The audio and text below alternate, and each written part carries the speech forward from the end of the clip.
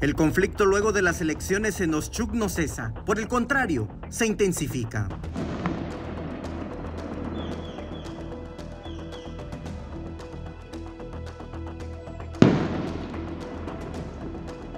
Este 12 de enero se registraron detonaciones de armas de fuego que paralizó el poblado indígena, que sufre las consecuencias de un proceso electoral fallido del 15 de diciembre.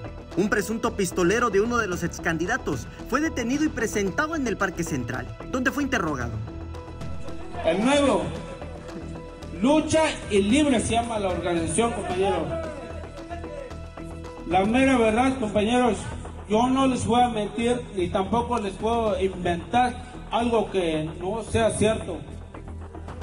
Este, sí, viene de lucha y libre, de la organización que se llama, yo no les puedo mentir también.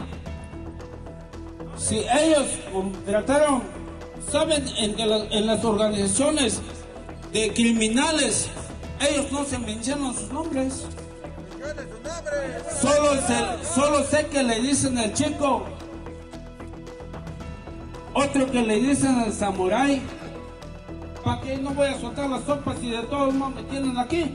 Y ellos, vergas, van a gastar todo el dinero de lo que le van a darle, son como 47 mil pesos que le van a aventar a esos vergas. En el interrogatorio público le exigían al detenido revelar quién lo financiaba.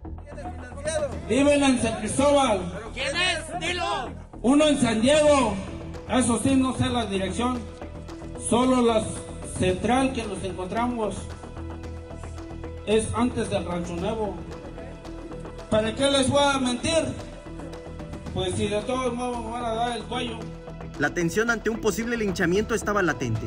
En Oschuk han habido bloqueos, retenciones de vehículos y secuestros. La noche del 11 de enero secuestraron a 28 turistas de México, Alemania e Israel.